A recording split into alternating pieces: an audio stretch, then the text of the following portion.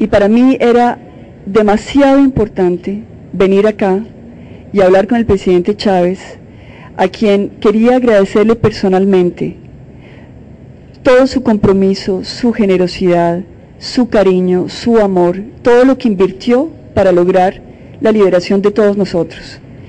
Gracias al presidente Chávez, seis de mis compañeros lograron la libertad. Entre ellos dos mujeres que salieron primero con el niño, con Emanuel, y eso fue gracias al presidente Chávez, y después cuatro de mis compañeros con los cuales compartí muchos años de cautiverio.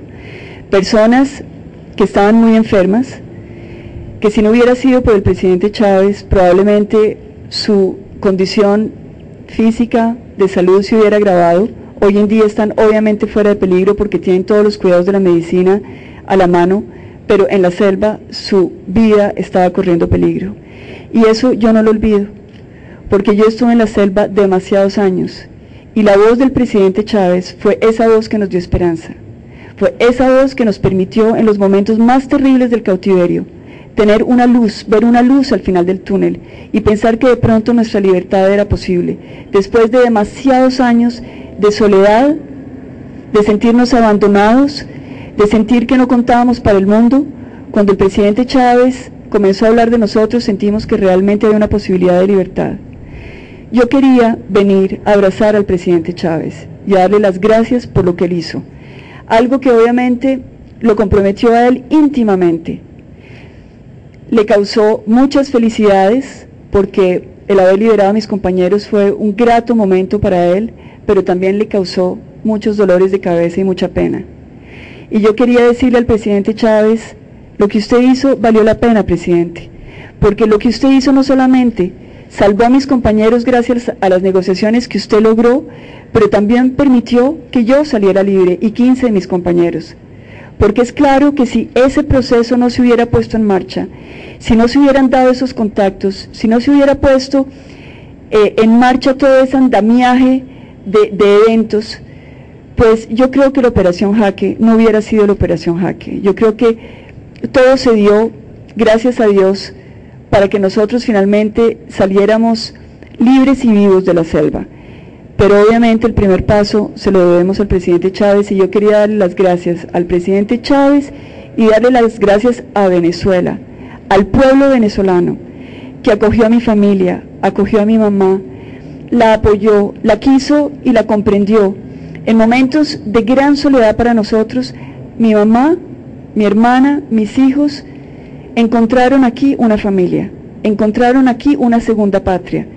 Cuando yo pienso en la unidad de América Latina, que es mi gran sueño como el de muchos, de todos nosotros, de nuestras nuevas generaciones de latinoamericanos, pienso en ese sueño también de que un día Colombia y Venezuela estén tan cerca, tan cerca, tan unidas como siempre tenemos que estarlo, porque somos países hermanos, somos países hermanos, somos países casi que siameses, porque dependemos el uno del otro.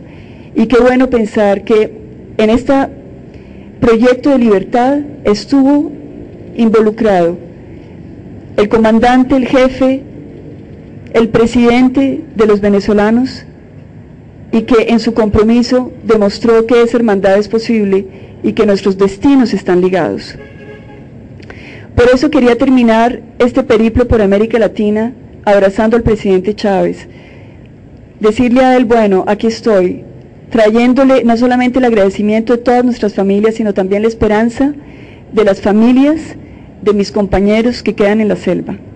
Madres, esposas, hijos e hijas que en este momento están sufriendo igual que sufrió mi familia. Madres que lloran como yo, lloró la mía. Mujeres que esperan como esperó mi familia y mis hijos.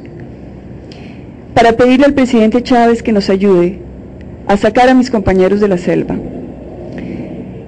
Este es un propósito que tiene que enmarcarse en una gran reflexión de todos los presidentes de América Latina, pensando juntos en el problema de Colombia, en el problema de los secuestrados de Colombia y con mucha generosidad, con mucho desprendimiento, con mucha humildad también, acercarme a ellos para pedirles ese respaldo que mis compañeros necesitan. Hablé con el presidente Uribe, fue con el primero con el que hablé, y en él encontré toda la disposición para encontrar ese camino. Después hablé con el presidente Correa y encontré en el presidente Correa un hermano. Después hablé con la presidente Kirchner y con ella nos abrazamos y ese liderazgo de ella cuando estuvo en París marchando en tierra francesa por la libertad de los colombianos, esa actitud generosa y valiente de la presidenta de Argentina, hermanada con el pueblo de Colombia, la volví a encontrar y con ella, con su compromiso firme, saqué fuerzas para irme a Chile. Y en Chile encontré a Michelle Bachelet, una mujer extraordinaria, de una gran visión, una gran reflexión, una gran concentración mental puesta al servicio también generosamente de este proceso que queremos adelantar para la libertad de los secuestrados de Colombia. Y de ahí salí para Lima y en Lima me encontré con el presidente Alan García. El presidente Alan García me recibió con los brazos abiertos, me escuchó, escuchó mis planteamientos, lo que le conté sobre mi cautiverio, sobre lo que había sido mi experiencia, les puse mis ideas y también me dijo, bueno, listo, para adelante, vamos para adelante. Y así llegué donde el presidente Lula. Y allí, con el presidente Lula, en un abrazo de hermanos, volví a encontrar el mismo apoyo, un apoyo responsable, un apoyo cierto, un apoyo fundamental, diciéndome, Ingrid, estamos con ustedes, vamos a luchar por esto, vamos a encontrar el camino, siempre de la mano del presidente Uribe. Queremos que esto quede muy claro, que es siempre contando con ese entendimiento entre, entre jefes de Estado. Le conté todo lo que había hablado con, con todos los demás presidentes de América Latina y dijo, excelente, vamos para adelante. Y así me encaramé cuatro mil metros de altura a La Paz. Y ahí me encontré con el presidente Evo Morales, quien me regaló, entre otras, esta bella manta, con la cual me siento muy orgullosa de arroparme hoy, porque me arropo con su cariño y con su hermandad. Y él me dijo, Ingrid, ese es el camino, tenemos que seguir para adelante, cuente conmigo. Y con ese impulso desde La Paz, llego hoy acá a Caracas, a encontrarme en este bello Palacio de Miraflores, con el presidente Chávez, a quien había visto hace ocho años, cuando yo estaba en libertad y él estaba apenas empezando su trasegar como presidente de Venezuela.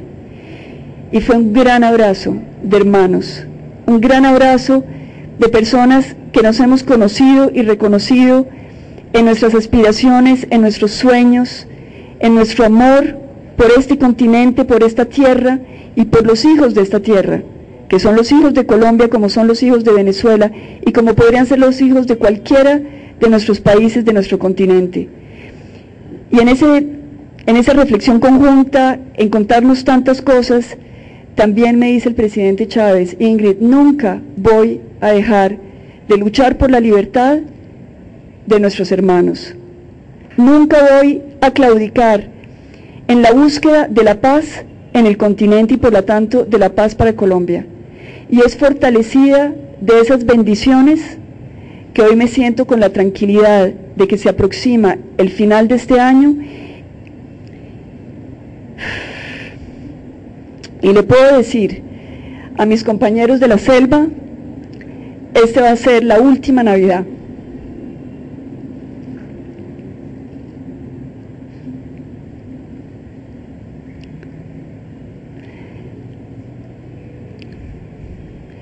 Decirles a ellos, tengan fe.